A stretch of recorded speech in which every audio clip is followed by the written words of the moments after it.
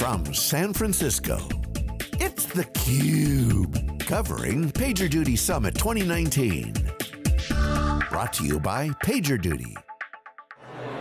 Hey, welcome back everybody. Jeff Frick here with theCUBE. We're at PagerDuty Summit. It's the fourth year PagerDuty Summit, third year of theCUBE being here at the Westin St. Francis in downtown San Francisco. And let me tell you, PagerDuty Summit's outgrown the Westin in St. Francis. We're excited to be joined by our next two guests coming all the way across the Pacific Ocean. On my immediate left is Daniel Sultana, the Group Director for SaaS for Technology One. Daniel, great to see you. Good to see you too, thank you. And on his left, Cameron Edwards. He's the Production Engineer Lead, also for Technology One. Welcome. Thank you. So first question, first time to the States? Not the first time to the States, I've been to the States many times, but it's always great to come back to California, and particularly San Francisco. Great. It is the first time for me, but it's been absolutely great. I got the whole weekend to explore San Francisco. It's just been wonderful. Good, good, good, good. It's a great, it's a great place to uh, to explore around. But let's talk about PagerDuty Summit. So first time at PagerDuty Summit, a lot of action going on, a thousand people. Company IPO'd this year. It's a lot of buzz around here. Truly exciting, great for PagerDuty IPOing this year. Um, very similar company to Technology One in terms of size, um, in terms of genetic heritage, so there's a lot of affiliation between our two companies. All right, well, let's jump into it. So what is Technology One? So Technology One is Australia's largest enterprise software company. Uh, we produce software in uh, a few vertical markets, focusing on uh, higher education, local and federal government, asset intensive, and health and community services. All right, so you guys are presenting later today on a really interesting topic. It was referenced in the keynote.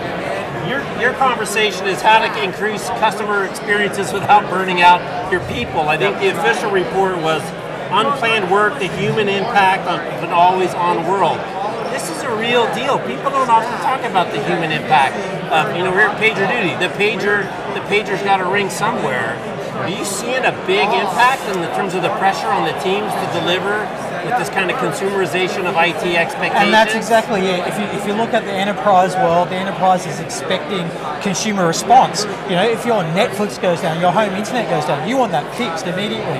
It's the same pressures now that we're seeing transfer into the enterprise space.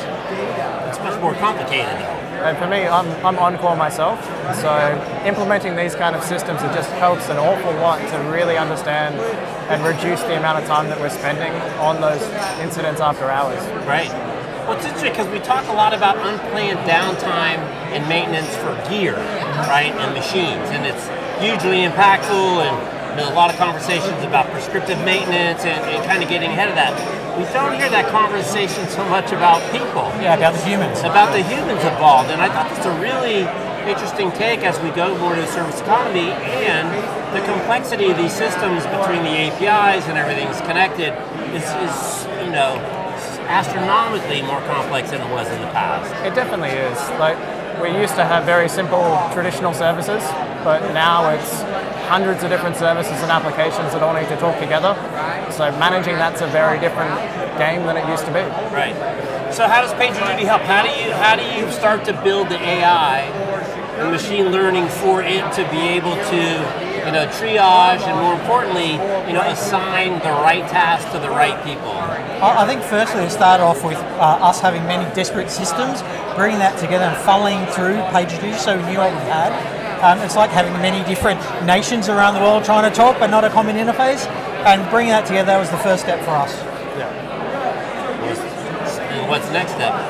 You're still pulling it together? Still pulling it together. Um, now actually understanding what we have, turning that into uh, uh, processes that are more efficient, uh, using the technology to, to move the uh, various conversation alerts and information to the right areas, be triaged ahead of time before problems actually happen and impact the customer.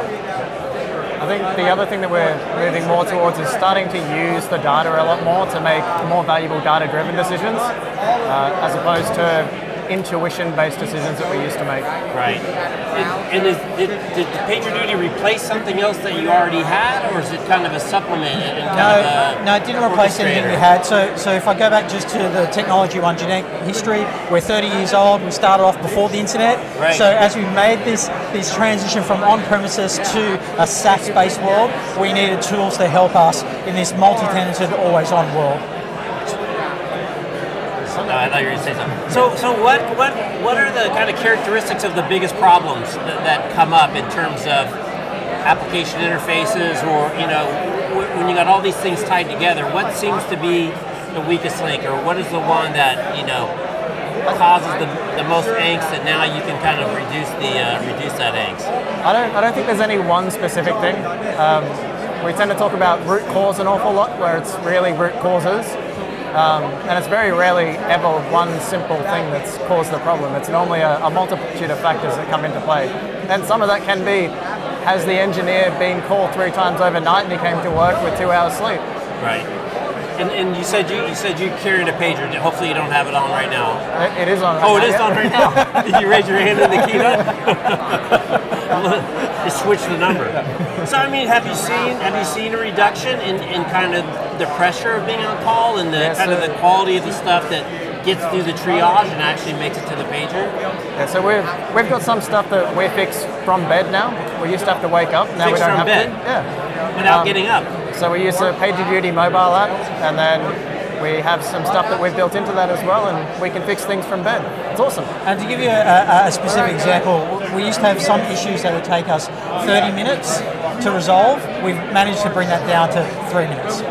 And why? Is that because better better tasking of the people, better identification of the problems? What are some of the things that drive that? exactly that. So it is bringing the multiple inputs into a central place, that being interpreted, and then being shifted off to the right resources to be able to fix it. Behind all that as well, some automated tasks that kick off, and that just condenses the whole uh, end-to-end process uh, uh, um, uh, dramatically.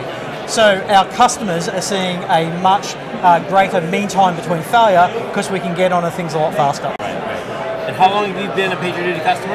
Uh, three years. Three years. Okay. Okay. So, lessons for uh, for people thinking about PagerDuty. What would you tell them? Some of your peers that are that are carrying the pager and kind of red-eyed and weary and, doesn't go. Um, look, I think managing your people is, is very important. I think we're, we're living in a world where talent is actually hard to secure. So you need to ensure that that talent is protected and looked after, well nourished, and grows. Um, and so we've used PagerDuty to help do that, to ensure that, that um, teams don't burn out, to understand what root causes are so we can attack it right at the cause um, and become more efficient. Right. Is, okay. Is there any specific um, kind of characteristics or attribute within the people, either in their behavior or things that they do, that you're measuring as being now less burnout Oh, absolutely. versus more? Yeah. burnout? What are some of the things you measure? Absolutely. So within us, we actually run an employee NPS survey um, uh, twice a year.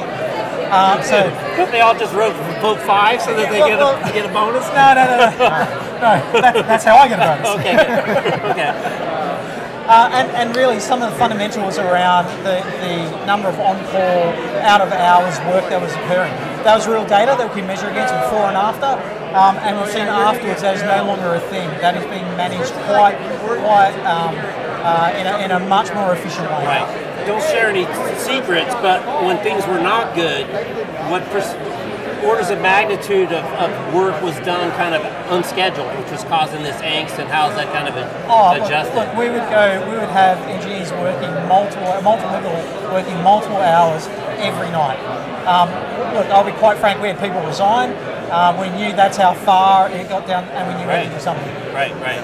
All right, good. Well, thank you, uh, thank you for sharing the story, and good luck. Hopefully, nobody else resigns, and uh, you keep a, couple, a bunch of happy, uh, happy clients, no burnout, and deliver that great customer experience. Absolutely. Thank you very much. All right. He's Daniel. He's Cameron. I'm Jeff. You're watching the Cube. We're at PagerDuty Summit, downtown San Francisco. Thanks for watching. We'll see you next time. Uh,